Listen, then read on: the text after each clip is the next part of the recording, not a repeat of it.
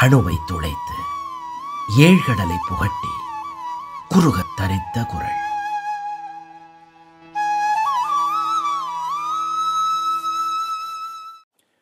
Jai Sriram. Sri TV நேயர்களுக்கு வணக்கம். இந்த அமைச்சு அதிகாரத்தினுடைய அடுத்த குரலை நாம் பார்க்கலாம்.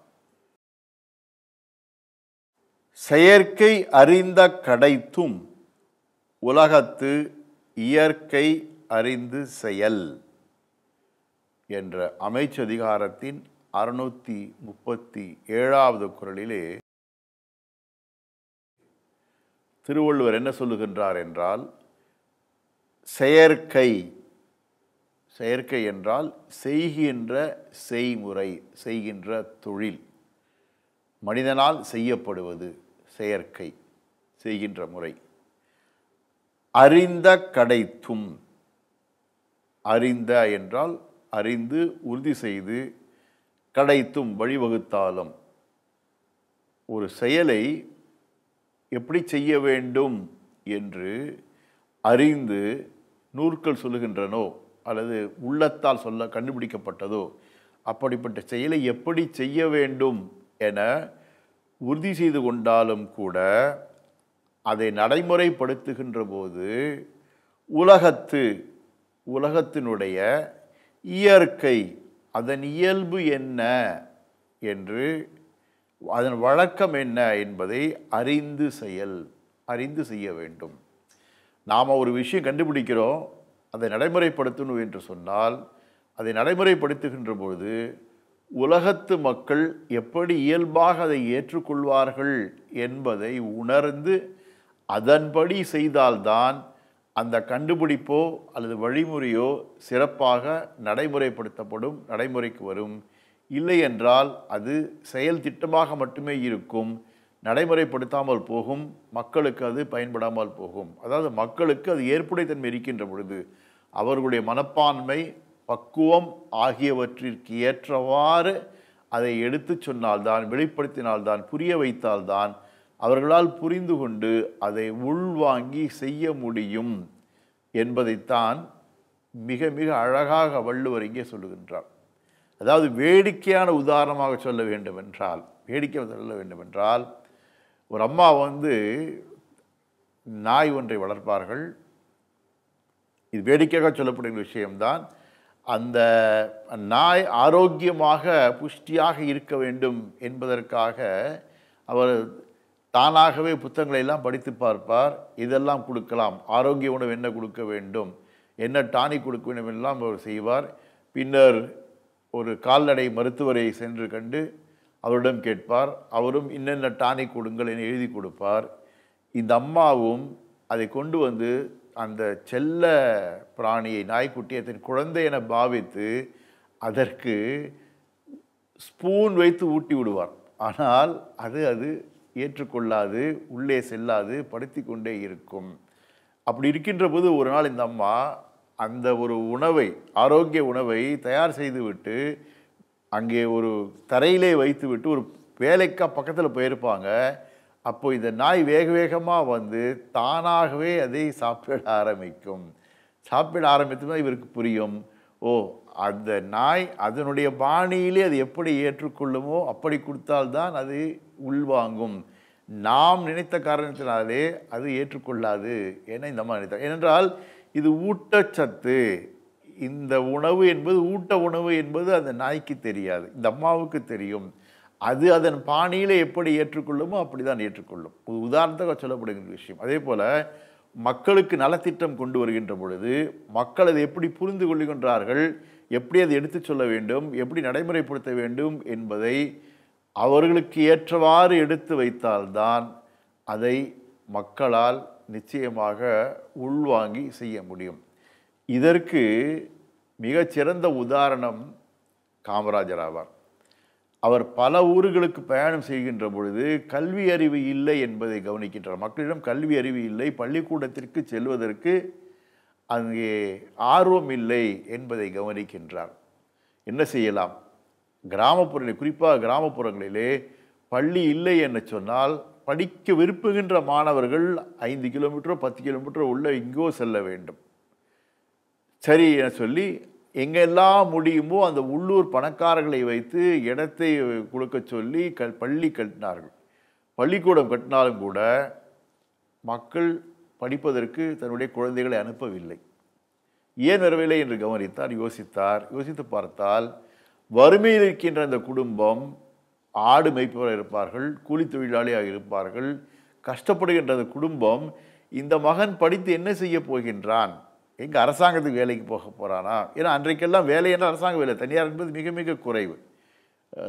ஃபேக்ட்ரிகள் எல்லாம் குறைவு அன்றைக்கு. அப்போதுதான் நாடு சுதந்திரம் அடைந்து வந்து கொண்டிருக்கிற காலகட்டம் வேலை என்றால் அரசாங்க வேலை அவ்வளவுதான். இல்லை என்றால் எங்கேயாவது கணக்கு எழுத போகணும். அவ்வளோதான் இப்படி தான் இருக்குமே தவிர இவன் படித்து என்ன செய்ய போகின்றான்? கூலி வேலை செய்தாலாவது ஆடு மேய்க்கும் தொழில் செய்தாலாவது அன்றாடம் ஏதோ வருமானம் வரும் குடும்பத்துக்கு வரும் என சொல்லி குழந்தைகளை படிக்க அனுப்ப மாட்டார்கள். ஏனென்றால் சாப்பிடுவதற்கு வருமானம் ஈட்டியாக வேண்டும். எனவே என்ன செய்தார் அவர்? மதிய உணவு என்கின்ற ஒரு திட்டத்தை கொண்டு வந்தார். சாப்பிட வரத்துக்காவது பள்ளிக்கூடம் வருவாங்க இல்லையா?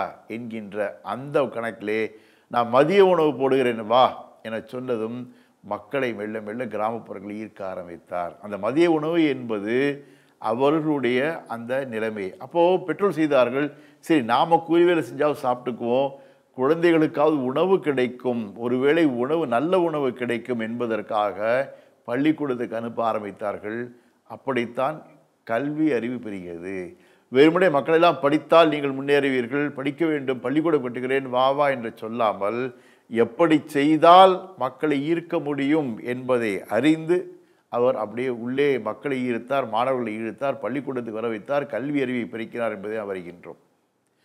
அது மட்டுமல்ல இன்னும் சிறப்பாக சொல்லப்போனால் நம்முடைய பாரத நாட்டு கண்டுபிடிப்புகள் எல்லாம் இயற்கையோடு இயைந்தது. எத்தனையோ உபகரணங்கள் இருந்திருக்கிறது முன்காலத்திலே அறுவை சிகிச்சை செய்திருக்கின்றார்கள். கட்டிடக்கலை சிறப்பாக இருந்திருக்கின்றது. விவசாயம் சிறப்பாக இருந்திருக்கின்றது. பின்னாளிலே தான் சுதந்திரம் அடைந்த பிறகுதான் இந்த வீரிய விதை நாட்டு விதைகளை தாண்டி வீரிய விதைகள் பல போகங்கள் ஏற்படுத்த வேண்டும் என சொல்லி உரங்களெல்லாம் ரசாயனங்களாக மாற்றி இதத்தனையும் வெளிநாட்டிலிருந்து வந்தவை. வெளிநாட்டு தயாரிப்புகள் ஒவ்வொன்றும் பார்க்க பிரமிப்பாக இருக்கும் உடனடியாக கொடுப்பதாக இருக்கும். ஆனால் அவை அத்தனையுமே சுற்றுச்சூழலை மாசுபடுத்தாக இருந்துள்ளதை அறிகின்றோம். இப்போ உதாரணம் சொல்ல எளிமையாக சொல்லப்போனால் நம்ம பாரத நாட்டில் பிரம்மாண்டமான அணைகளை கட்டியதே கிடையாது ராஜாக்கள் எல்லாம். மழை பெய்தால் ஆற்றிலே நீர் வந்தால் அவையெல்லாம் ஓட்டத்தை தடுக்காமல் ஆங்காங்கே ஆங்காங்கே கிளை கால்வாய்களைத்தான் ஏற்படுத்தினார்களே அன்றி எங்குமே நீரை தேக்கியது கிடையாது. நீரை தேக்கினால் அதனால் பூகம் ஏற்படுவதை சொல்லுகின்றார்கள். ஆக ஓடுகின்ற நீரை தடுப்பது கிடையாது. அதேபோல் ஓடுகின்ற நீர் கடலிலே கலக்க வேண்டும் என்பதும் ஒரு கணக்கு இருக்கின்றது. அப்படி ஓடுகின்ற அந்த நீரை கிளை ஆறுகளாக பிரித்தார்கள் ஓடைகளாக பிரித்தார்கள் சிறு சிறு கால்வாய்களாக பிரித்தார்கள். அதே போல் ஓடுகின்ற இந்த கால்வாய் இறுதியாக ஆங்காங்கே குளங்களை வெட்டினார்கள். மழை நீர் பெருத்து வந்தால் மழை பெய்து வருகின்ற போது குளங்களை வெட்டினார்கள் பல இடங்களில். அப்படி இயல்பாக அதே போல் இந்த நம்ம கழிவறை என்று வந்தால் ஊருக்கு வெளியே இருக்கும் நீரை கையில் கொண்டு சொல்லுவோம் இப்போது இருக்கின்ற அந்த கழிவறை வசதி என்றால் குறிப்பாக ஃப்ளஷ் என்று வந்தால் ஒவ்வொரு முறை ஃப்ளஷ் செய்கின்ற பொழுதும் கிட்டத்தட்ட இருபது லிட்டர் தண்ணி வீணாகின்றதாம். யோசித்து பாருங்கள் எவ்வளவு நீர் பயனற்று போகின்றது. டேப்புன்னு வந்த பிறகுதான் தண்ணியை திறந்து விட்டு ஏக்கச்சக்கமாக ஓடுது. ஓடுகின்ற நீர் மொண்டு எடுத்து தேவைக்கு பயன்படுத்தி வந்தோம் முடிந்தது. அதே போல் சொல்லுவாங்க வெளிநாட்டுக்காரன் தான்ப்பா எல்லாம் கண்டுபிடிச்சிருக்கான் நம்ம என்ன கண்டுபிடிச்சோன்னு சொல்லுவாங்க ஆனால் நம்முடைய கண்டுபிடிப்புகள் எல்லாம் எதுவுமே இயற்கையை பாதிக்காதவை இயற்கையோடு இருப்பவை. ஆனால் வெளிநாட்டு கண்டுபிடிப்புகள் என்பதெல்லாம் செயற்கையானவை அந்த செயற்கையானவை பூமியை பாதிக்கிறது என்பதை சொல்லுகின்றோம். கடல் மாசுபடுகிறது காற்று மாசுபடுகிறது இத்தனை நடக்கின்றது. அப்போது ஒன்றை கண்டுபிடித்தால் அதை நடைமுறைப்படுத்துவதற்கு இயல்பாக இருக்க வேண்டும். எது சுற்றுச்சூழல் பாதிப்பாக இருக்காதோ அதைத்தான் பாரத நாட்டவர் செய்தார்கள் நினைத்து கொள்ள வேண்டும். இப்படி பாரத நாட்டு வழிமுறைப்படி பார்க்கின்ற பொழுது எது எப்படி இயல்பாக இருக்குமோ அந்த இயல்பிலே அதை கொண்டு போக வேண்டும் என்பதை தான் அறிகின்றோம். எனவே நடைமுறைக்கேற்றவாறு செய்ய வேண்டும் என்பதற்கு எத்தனையோ குரல் சொல்லுகின்றார் எவ்வது உறைவது உலகம் உலகத்தார் அவ்வது உறைவது அறிவு என்று அறிவுடை வரையாசி வள்ளுவர் சொல்லுகின்றார் உலகத்தோடு ஒட்ட ஒழுகலார் பல கற்றும் கல்லார் அறிவிலாத இன்னொன்று சொல்கிறார் நீங்கள் வந்து எவ்வளோ படிச்சிருந்தாலும் கூட இந்த உலகத்தோடு ஒட்டி வாழ தெரியவில்லை என்றால் நீ அறிவில்லாதவனே சொல்லுகின்றார். இப்படி உலக நடைமுறை என்று வருகின்றது. இன்னும் சொல்லப்போனால் கால இந்த காலத்துக்கு ஏற்றவாறு சொல்ல வேண்டும் என சொன்னால் சுவாமி விவேகானந்தர் ஆங்கிலத்திலே மிக அழகாக பகவதியை எடுத்துரைத்த காரணத்தினாலே வெளிநாட்டவரையும் கவர்ந்தார் அறிகின்றோம்.